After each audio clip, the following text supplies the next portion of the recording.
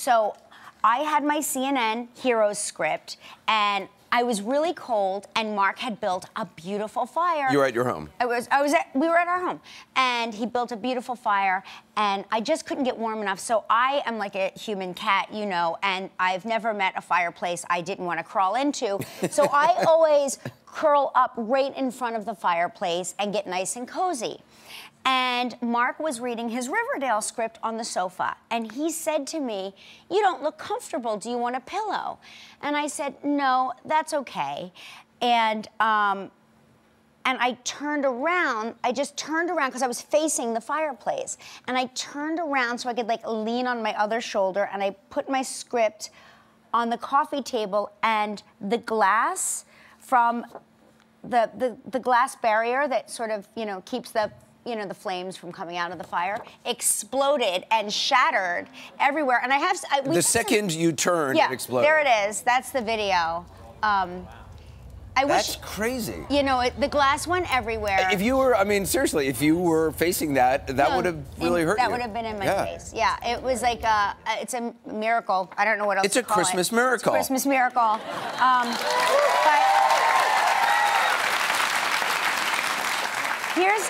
but here's, here's this Were is you were like, were, did did was your shirt? the back of my the back of my. I will say this. This is what really bothered me more than anything, more than the carpet being set on fire. Um, was that my Madonna concert T-shirt had five holes in it? it's okay. Oh, wait, this is us cleaning. We did not know how to clean up. Spark guard, I guess it's called. Yeah. Got too hot.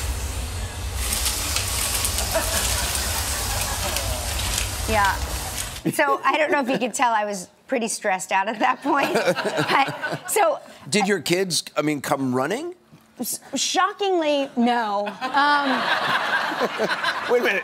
There's an explosion of glass in your house, and you, they don't. You understand? They were they had ordered in sushi, and they didn't want it to get warm. I guess. so this explodes, and I think because my back is to the fireplace, and it explodes, and I think that we've been shot. I think I don't Right, know yeah. what happened Right. because I scream, and Mark screams, and there's a moment where the carpet's on fire, and we are staring at each other like, "Are you hit?" And you're like, "Are you hit? By what?" You know, and I'm like, "Are we alive?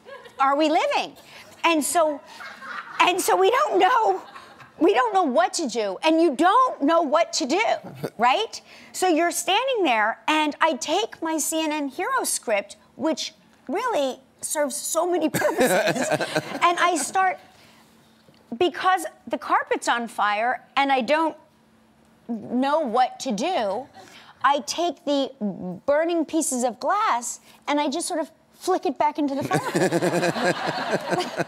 right? There's like flaming glass in the Christmas tree, but I'm like, But you, let me let me just understand. You're using a piece of paper to flick Wait, you, flaming. should I have used my bare hands? Well, I don't. I just think I something metal, maybe, I- or had- non-flammable, is what I was. Which is when we ran down to get the cookie sheets. Oh yeah. Okay. Okay. Because yes. at that point, cookie sheets made sense. You know, this is- this, this- is you don't Right. understand. Your brain goes into another, the fifth dimension, I like to call it. We got sleds. Sleds, good. Oh, good. Yes. Cookie sheets is. By the way, this is a good thing for everybody at home. You should always have cookie sheets and sleds. Okay, so this Hank is us. standing by we are near the running, fireplace. We're running like this. Mark and I are running past the past two. The, Lola's not in the house, so Lola is out of this. The boys are Wait, sitting there, I'll be and Mark. we're like, Mark's like, get the sled. Get the sled.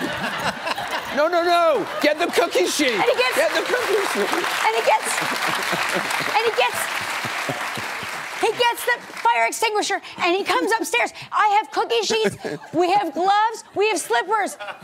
The boys are now enjoying their second course of sushi. Mark goes, pull pin, hold at six feet, six to eight feet away from. And he goes, hold the cookie sheets in front of the fireplace because we don't want any of the broken glass to fly. And I go, hang on. Does that sound right to you? I go, nobody do anything. Nobody do anything. And I run back downstairs and I say to the boys, if you won't mind helping us for a second. I don't know if you heard, but the fireplace exploded. Oh, is that what that was? we heard. Now, this is what my 20 year old who is home from college says. We heard a loud crash and a scream, but we didn't really think much of it. That's good. That's good to know. That sounds like a teenager. Yeah, That I was- sounds like a jaded New York teenager. it sounds teenager. like a teenager, Yeah. but he's 20, so he's a grown up. Right, they're like, uh, what was that? Was that Did mom you screaming hey, and did you glass hear exploding? Mom scream and an explosion? Can you pass the edamame?